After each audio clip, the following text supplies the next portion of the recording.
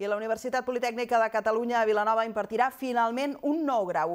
Després de mesos d'espera, el Ministeri d'Universitats s'ha donat ara sí llum verda perquè el Centre Universitari Vilanoví pugui impartir el proper curs el nou grau d'Enginyeria Elèctrica i Sistemes Ferroviaris. Serà el primer que s'impartirà a tot l'Estat amb aquesta titulació.